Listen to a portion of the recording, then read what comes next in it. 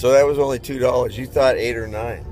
Well, I didn't know. If, They gave you the senior discount. They rolled up and said, "Oh, it's an old guy. Here, it's only two dollars." well, I thought it was going to be all the way to Oklahoma City. No, it was just going to be for 40 miles in Kansas. Thanks for driving 40 miles in Kansas. That'll be two dollars, please.